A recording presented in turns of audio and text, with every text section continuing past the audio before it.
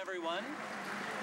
Thank you for joining us for our celebration of the Dia de los Muertos, All Saints Day, which today is in special memory of the members of our community who died on September 11th, and also all of the saints of the gay, lesbian, bisexual, and transgendered community. I'd like to welcome you, and I'd like to begin our service and introduce the Mistress of Ceremonies for the Sisters of Perpetual Indulgence in San Francisco, Sister Saki Toomey. Saki will begin our time of prayer. Welcome, and thank you all for coming to be with us tonight. As we gather, I want to share with you all that around the world, people are walking with us tonight. Sisters of... Sorry? We want you to Oh, go over here with this one. Okay. Sisters of Perpetual Indulgence are holding similar vigils in Sydney, France, Scotland, England, Philadelphia, Iowa, Seattle, and Los Angeles. MCC churches are praying with us in New York and Toronto and in Sweden. And in Sweden, the Lutheran Church has called for a National Day of Remembrance. In Tennessee and California, British Columbia, and Ontario, Radical Faeries are gathering in our name. In New York, the Lesbian and Gay Community Service, Services Center has lit candles, and Fire Flag, the Union of Lesbian and Gay Firefighters, has called its members to do the same. Across the United States, members of the National Gay Pilots Association and the Gay and Lesbian Associations of American and United Airlines hold us in their hearts. Here in San Francisco, we welcome members of MCC SF, along with their pastor, Reverend Penny Nixon. Um, we also welcome members of SF Fog rug- Rugby Team. We have Paul here. The Golden Gate Flyers, the Franciscan Community, and the Franciscan Theological School. We also recognize the San Francisco Fire and Police Departments who have asked all their officers to remember us tonight. As you light your candles, know the light and love encircle you. Take a moment now, my children, to open your hearts, to clear your minds, and to settle your restless spirits. We chose this evening to gather together because, in many traditions, tonight is the night when the veil between the living and the dead is thin. Tonight, in traditions the world over, this is the night we honor all saints. Those people who were not recognized because they were perfect or better than you and me, but people who, in the ordinariness of their life, in the complexity of their struggle, in the unfinished story of their unfolding, there was a moment when an incredible light and beauty shined from them, and we were graced to see it. This evening, we gather with their spirits. And after seven weeks of living, watching the All Terror All the Time network, tonight we gather in peace and in confidence, knowing that there are things no violence, no fear, and no shame can ever break. Bonds of love and joy and hope. Tonight, as we begin walking through the Castro, we remember these saints, actively calling them back among us and gathering with us a powerful cloud of witnesses who encourage us with their spirits and their life force and their energy. Bring them together with you tonight. Let their hearts dance in the flicker of your flame. Catch the beauty of their lives in the corner of your eye and bring them with us in your hearts and in your lives. Let us walk ahead now, calling on this Spirit. Let them work with us for peace and for justice and for freedom. Let them lead us now into a world in which all people can be free to be themselves and unfold in beauty and joy. Let us go forth to Most Holy Redeemer, where we'll have our first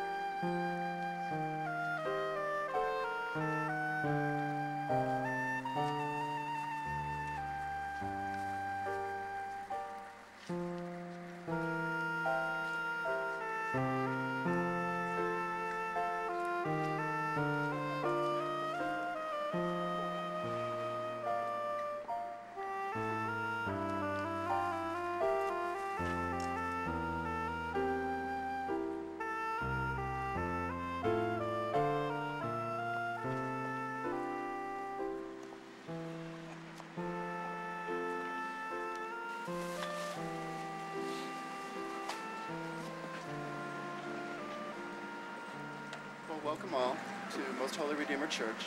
We'd like to welcome Dan Sullivan, who is the Deputy Chief of our Fire Department. Mm. Who we need this evening. Obviously, very much so this evening. Would you please stay close to Sister Constance? It's not always easy to believe in yourself, to have faith that you may make a difference, not by being perfect or acting like a hero, but by being who you are. Father Michael Judge had a powerful faith, tempered by years of service that taught him the value of sharing his vulnerability as well as his strength. Though he could have hidden behind his priestly role, Michael chose to be himself and let his own story inform his work.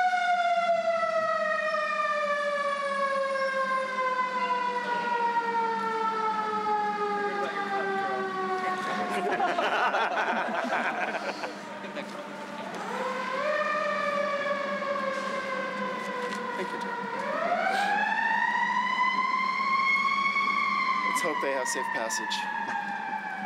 As a gay man, he helped the Franciscans organize one of the first programs for people with HIV and AIDS in Manhattan.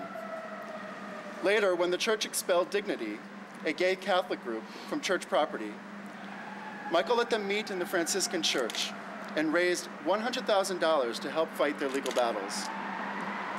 After gays were banned from marching in the St. Patrick's Day parade, Michael, a good Irishman, marched in the alternative gay parade in Queens.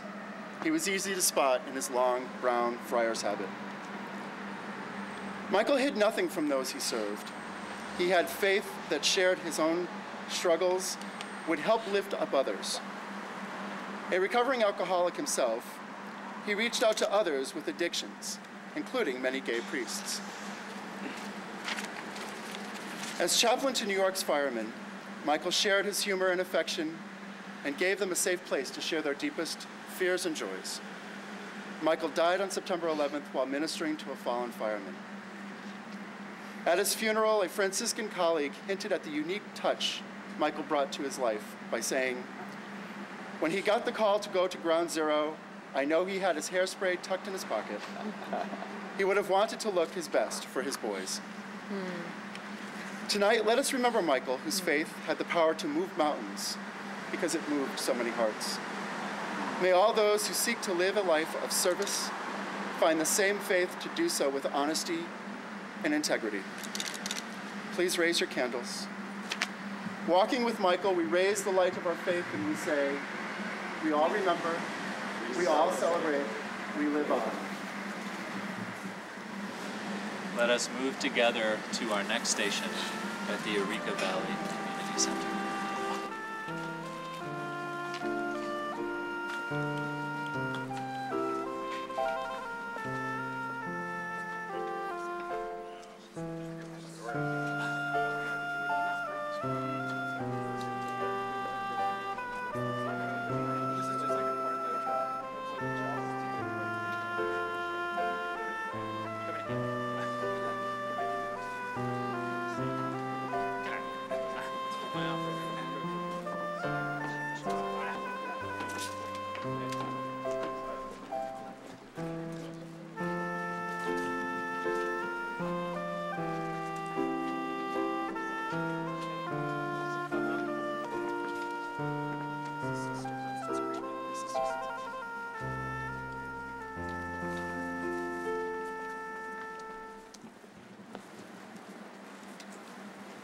Also very pleased to be joined.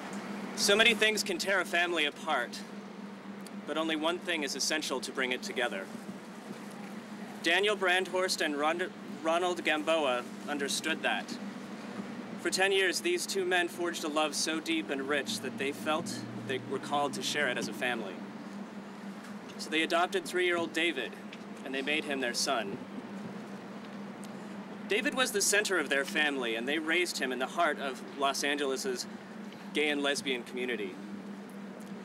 When their friends began thinking about having children of their own, Daniel and Ron were there through the Pop Luck Club and the countless personal talks and visits. They were a loving family, and their love was infectious. When their plane, American Airlines Flight 175 crashed into the World Trade Center. Daniel, Ron, and David were returning from a family holiday in Cape Cod. Tonight we remember Daniel, Ron, and David and the family that they built on love.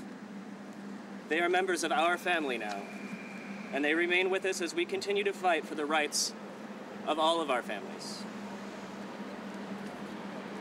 Walking with Daniel, with Ron, and with David, we raise the light of our family and we say, We remember. We remember. We, We celebrate. celebrate. We live, we live on. on. And we carry on now to the corner of 18th and Castro.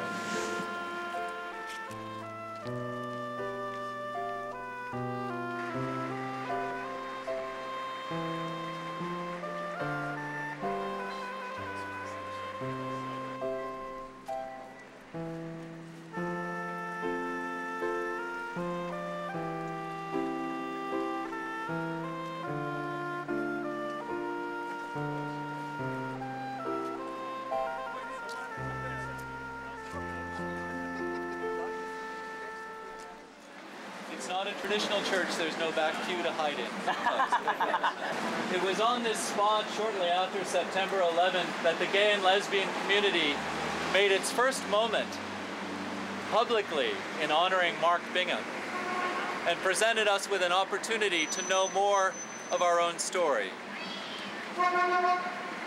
I've had the pleasure of speaking with a number of people who knew Mark, and one thing is clear.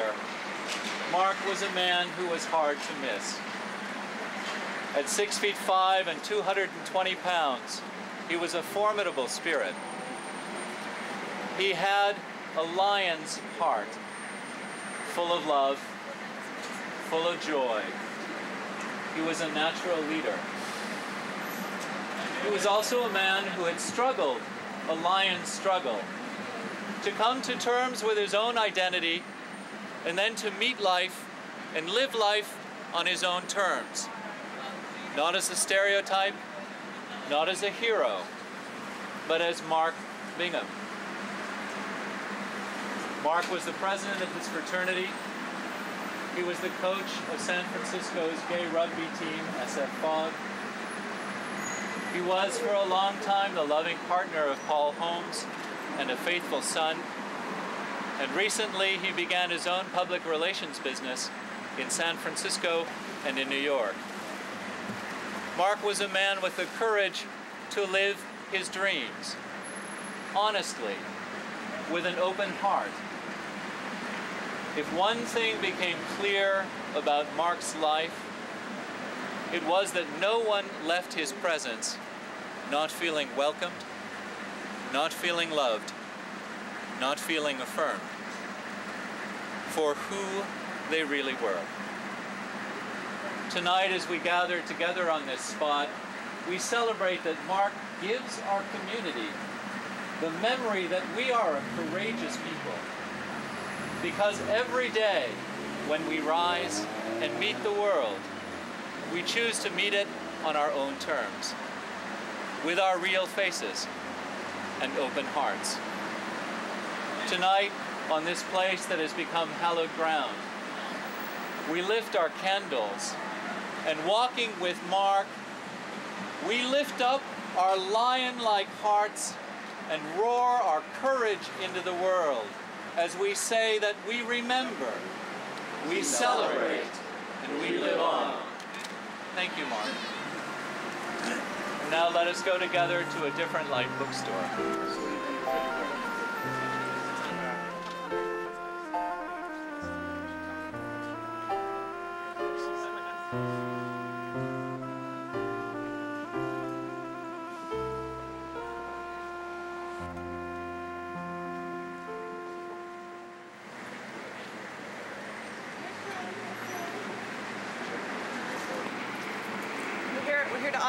Flyzik, who was a determined and hopeful woman. She worked as an ER nurse with Nancy Walsh for six months before anything between them happened.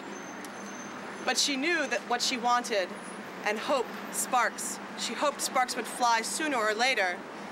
Things did heat up, and Carol and Nancy began a romance that lasted for 13 years.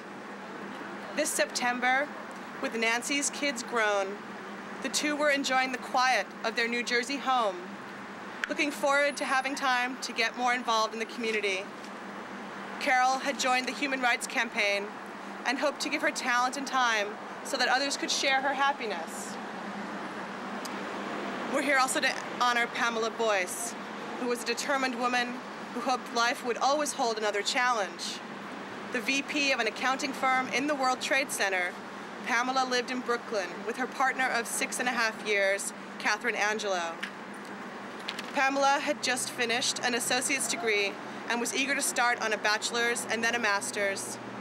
Even with a full plate, Pamela still found time for her other passion, disco. That's a passion with a calling. According to Catherine, Pamela always went to bed hoping the next day would be even better than the last. Tonight, we remember Carol and Pamela and celebrate all those who live and work in hope that tomorrow will be a better day for all of us.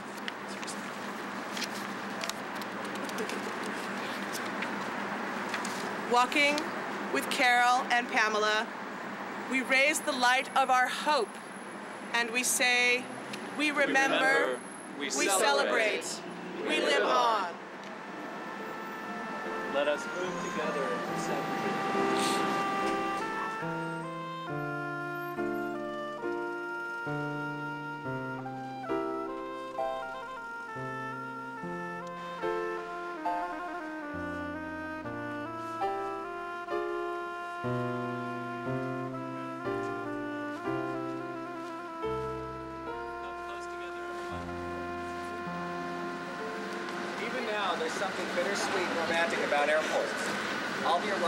departures, the rush of people crossing continents to be with those they love. David Charlebois understood that romance very well. As a pilot, he relished flying across the world, traveling to the places he loved best, and spending time with friends. David was in love with life, and flying let him live that love expansively. His love of life led David to engage things passionately. He had a fierce love for France, a country he considered his second home.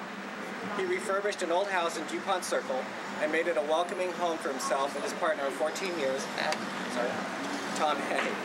His love spanned the generation gap and led him to volunteer with the Sexual Minority Youth Assistance League in Washington.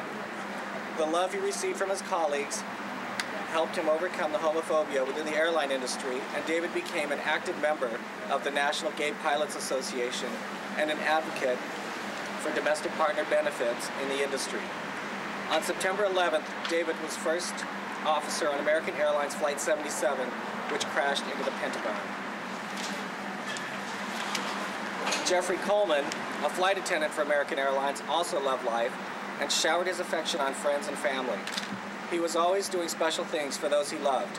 On September 11th, he took an early flight to get home to Nevada and spend the weekend with his lover of 10 years, Keith Bradkowski. Jeffrey planned to surprise Keith with a trip to Italy in October. For both David and Jeffrey, life was a passionate love affair, one they lived exuberantly. Let us celebrate their love and affirm the passionate, vibrant love burning in each of our hearts.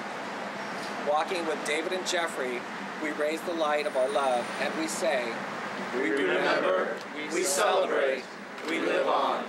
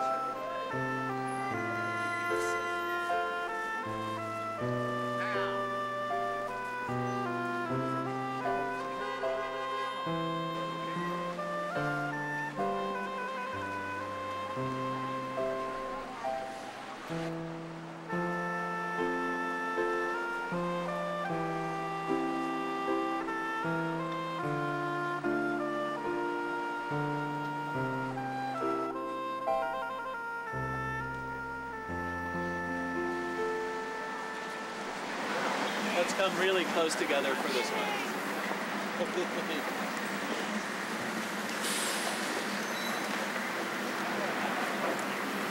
Joe Ferguson was a little red-headed boy from a small town in Mississippi. A small town where Palat people didn't discuss homosexuality. But Joe was a determined man who left his hometown after studying at Duke joining the Gay and Lesbian Union there, and moving to Washington, D.C., where he found what was for him the perfect job, being the head of the National Geographic Society's education outreach program to children. Joe was a teacher who understood that the geography of the world was a map filled with joy and wonder. And it was his passion to take young hearts and make them burn with life. Joe was on the flight that crashed into the Pentagon, where he was with three children that he was taking out to the Channel Islands here in California for a month-long field trip. He was a little red-headed boy filled with joy. Michael Lepore worked in the World Trade Center as an analyst. He had lived for 10 years with his partner in Yonkers, where they had lovingly restored a brownstone and created what was by all accounts the most lavish garden in New York. Every weekend, Michael had at least six members of his Italian family gathered around with spades and digging hoes and buds and flowers. He and his partner made their garden a neighborhood retreat where young and old could rest, tell stories, swap tales, and share the joy of what it meant to live in a neighborhood. After Michael died, his partner had said that the neighbors continued to weed the garden and trim the ivy and plant the flowers that would bloom in spring because they hoped that Michael would come back. And now that we know Michael won't return, all the more reason that we celebrate the joy blooming in our world because of him. Bob Fangman was an irascible little son from a family in Chelsea, Massachusetts. The youngest of his brother and sisters, he learned early to speak his mind, to tell a good joke, to get to the front of the line. He was terribly excited last November when he finally became a flight attendant because all he wanted to do was meet people, make them happy, move them along. Bob was in the plane that crashed into the first World Trade Center tower.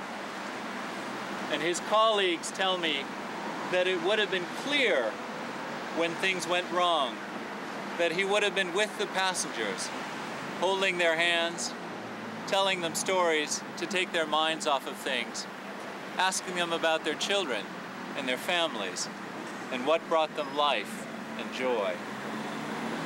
Bob holds our hands today as we walk through this darkened world.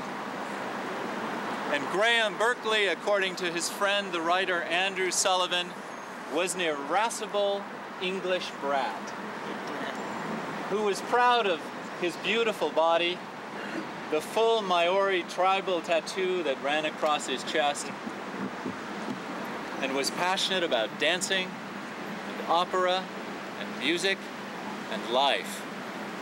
Last July 4th, he met his boyfriend during a tea dance in Provincetown. And his boyfriend said that he felt like he was the luckiest man in the world to find such a beautiful partner. A true romantic, Graham was in love with the idea of freedom. And after 10 long years of struggling, on September 1st, he had finally gotten his green card to stay in the United States.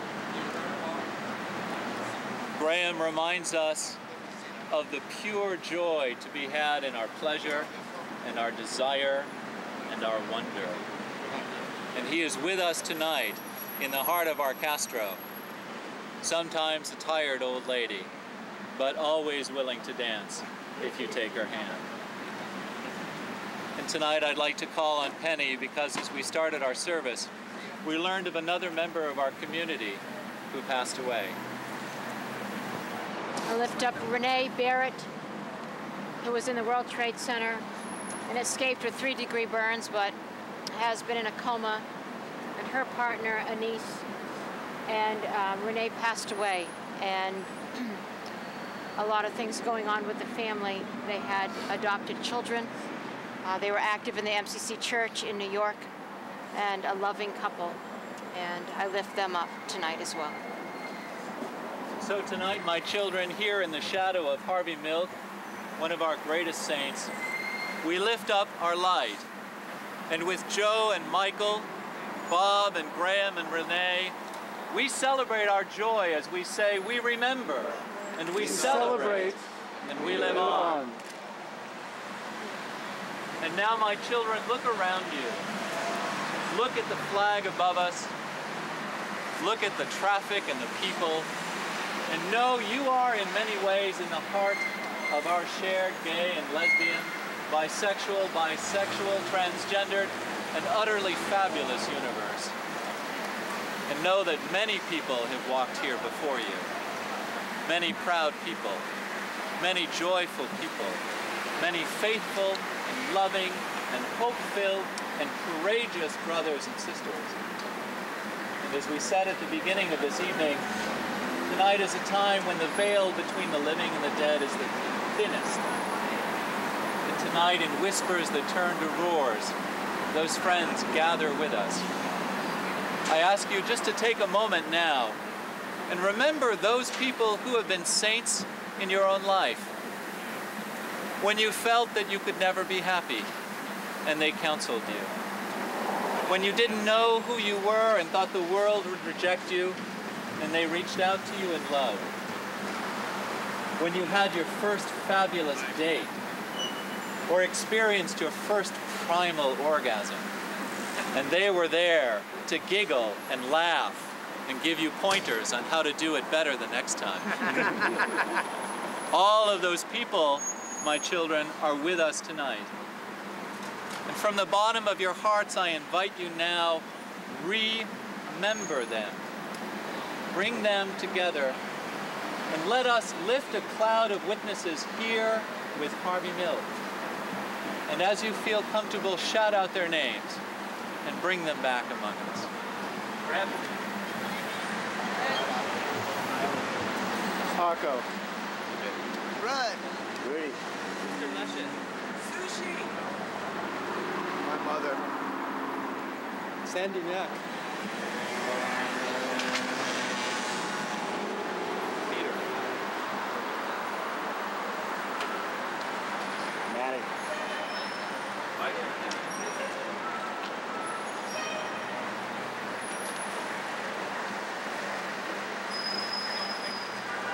for all these saints and for all of those saints whose stories remain unknown to us.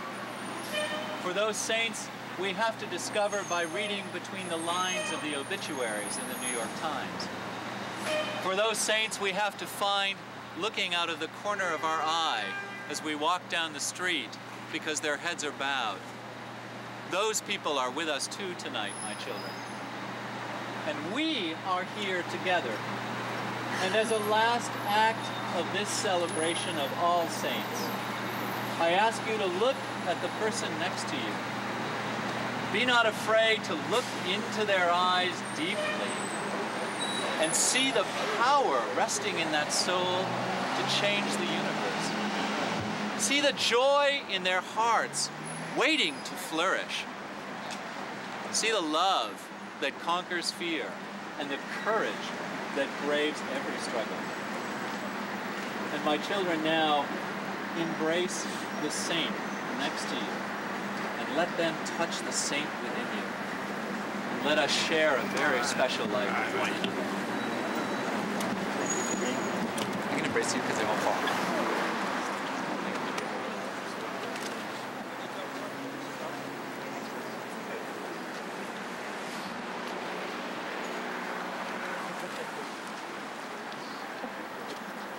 Feel good? this is why we come together, touch one another, be together, enjoy it. If you make an interesting connection tonight, don't be afraid to keep hugging them. Take your candle with you and hug somebody that you haven't seen yet either. because the joy is infectious. And that's what today reminds us of. And so one more time, let us raise our light, my children. Because we do remember, and we do celebrate, and we will live on lusciously. Living well is the best revenge. Living well is the best everything. and so tonight, thank you on behalf of the Sisters of Perpetual Indulgence and all who gathered with us this evening. As our last act this evening, we're going to take these icons and leave them with vigil candles at different places in our community as touchstones so that they may be seen and felt through the rest of the weekend.